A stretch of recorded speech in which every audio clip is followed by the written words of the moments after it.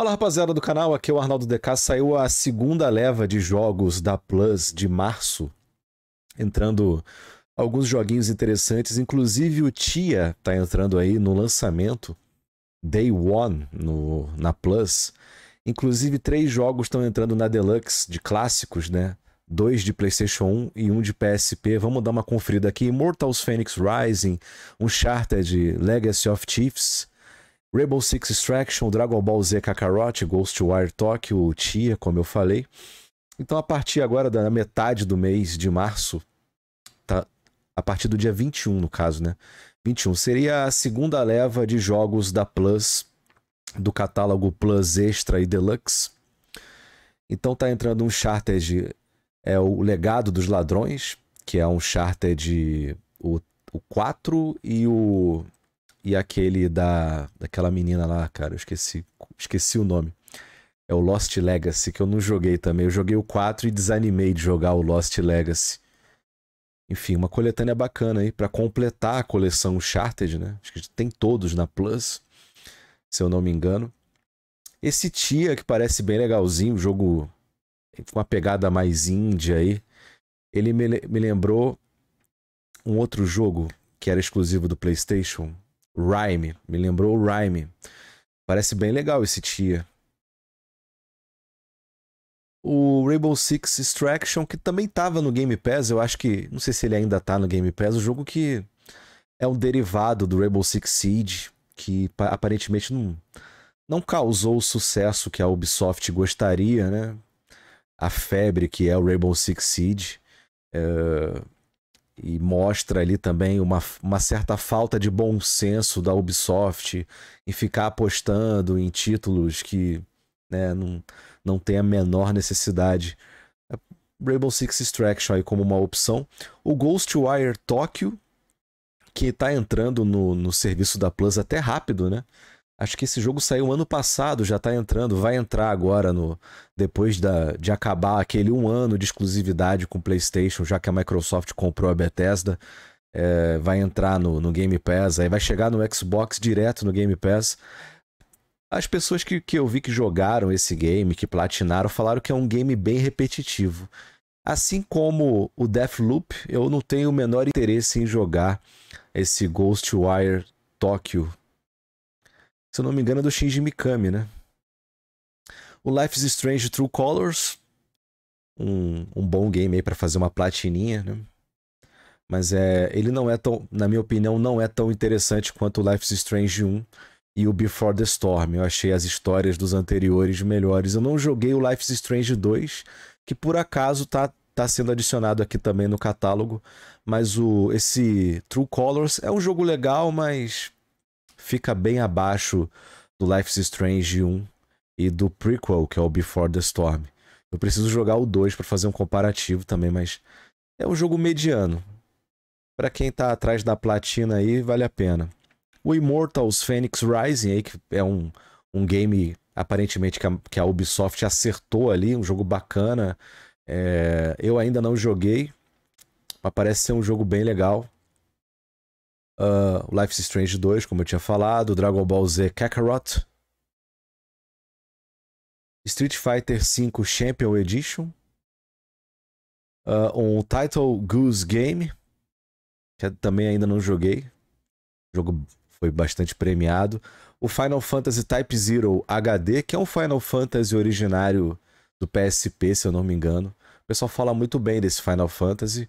O Rage 2, que ele já, já tá no catálogo, no catálogo do Game Pass desde a compra da Bethesda. Não é, eu acho que esse, o, o Rage 2 ele não é tão bom quanto o primeiro. Eu acho o Rage 1, eu, na época, eu achei um game incrível. Uma mistura de Doom com Mad Max. O 2 até hoje eu não joguei, não me animei muito com a proposta desse game. Eu ainda pretendo jogar ele. Agora tenho a oportunidade aqui de jogar no PlayStation. E o New The World Ends With You. É um RPGzinho ali. E o Heaven. Esses games vão ser adicionados a partir do dia 21 de março, né? E vão entrar três games clássicos aí no catálogo para quem é assinante da Deluxe. O Ridge Racer Type 4, que é um excelente Rage Racer, muito legal. Esse, inclusive eu tenho, eu comprei esse game no meu PS Vita lá no, Play, no PS Classics. Eu tenho ele no meu catálogo também. O Apes, o Ape, Ape Academy 2, eu pensei que era Apescape. É Ape Academy. E o Sifo Filter Dark Mirror, que é o Sifo Filter do PSP, que foi na época muito elogiado. Enfim, esses são os games que serão adicionados ao catálogo da Plus. Assim, o catálogo de clássicos, eu, eu queria que a, que a Sony desse um. tivesse um cuidado a mais, pelo menos fizesse um banner ali. Eu acho que poderiam adicionar mensalmente. Eu acho que eles deveriam adicionar no começo do mês, logo, uns, uns seis jogos. E fazer um banner igual eles fazem para os games principais ali, que no, no banner principal tem exatamente seis jogos. Podiam fazer um banner bonitinho logo no, no início do mês já, ó, vão, esse mês vão entrar esses seis jogos aqui. Não ficar adicionando três no começo do mês e três no final do mês. Que aí fica uma coisa muito homeopática, né? Fica, é como se você estivesse recebendo, ao invés de você receber o lanche completo, você primeiro recebe a batata, depois a, a bebida e por último o um hambúrguer, né? E vem aquele hambúrguer faltando alguma coisa, você tem que mandar de volta para eles completarem com molho especial. Uma sensação meio, sabe, arrastando ali com uma bola de ferro. Já podiam logo soltar no começo do mês ou no final do mês o catálogo completo com todos os games clássicos. Né? Pelo menos, no mínimo, seis títulos clássicos. Pode ser que não tenha aqueles seis jogos que você quer. Eu quero muito de PlayStation 1, como Resident Evil 2, como Dino Crisis, como Parasite Eve, como o Gran Turismo 1, Gran Turismo 2, ou o Gran Turismo de PSP. Mas solta logo tudo, sabe? Ficar nessa coisa de conta-gota é, é, complicado, mas gostei da adição do Ridge Racer Type 4. É, esse Ape Academy eu tinha lido, eu li Ape Escape 2, mas o Ape Escape 2 ele já tá, né? Eu, eu li errado. E o Sifo Filter aí para completar os Sifo Filters, né? Já colocaram o Sifo Filter 1, 2 e 3 do PlayStation 1, agora o Dark Mirror do PSP, completando todos, todos, todos os games da franquia Sifo Filter de PlayStation. Então é isso aí, pessoal. Um mês bacana. É... Acho que o, o destaque vai para o Ghostwire Tokyo, que é um game recente. Tem menos de um ano que está disponível aí, então.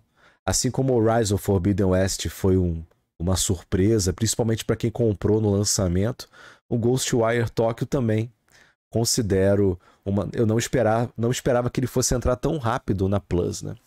É, como a Microsoft comprou a Bethesda, era, era normal ele entrar no Game Pass assim que chegasse no Xbox, mas ele também entrar no catálogo da Plus eu achei meio surpreendente. Agora, fiquei curioso para jogar esse Tia e uso um Charted ali para completar, né? Vamos torcer para que a Sony, assim como a Microsoft, invista em cada vez mais em títulos Day One no catálogo né? já que a Sony ainda não está preparada para colocar os principais títulos. Eu acho que ela nunca vai fazer isso, pelo menos por enquanto, né? Nunca diga nunca, mas eu acho que o futuro, um novo God of War, um novo Horizon, um novo Gran Turismo, acredito que eles não vão entrar day one no serviço. Deva demorar um novo The Last of Us, não devam entrar day one no serviço. Embora eu acredito que uh, o fato desses games AAA estarem disponíveis day one, como no Xbox é, acontece com os principais lançamentos AAA, acredito que o número de assinantes da Plus iria aumentar consideravelmente. Ainda mais agora com essa questão da compra da Activision Blizzard ou não pela Microsoft. Se a compra se confirmar, vai ser um baque muito grande para o PlayStation para ter que se reorganizar ali para tentar oferecer um serviço equivalente ao Game Pass no, na sua plataforma, né, no PlayStation. Eu acho que essa disputa é muito saudável para nós consumidores. Não sei até que ponto é saudável para as empresas, mas para nós nós temos que aproveitar o máximo possível. É, e, e, eu espero que isso não afete a qualidade, futuramente, a qualidade dos games, né?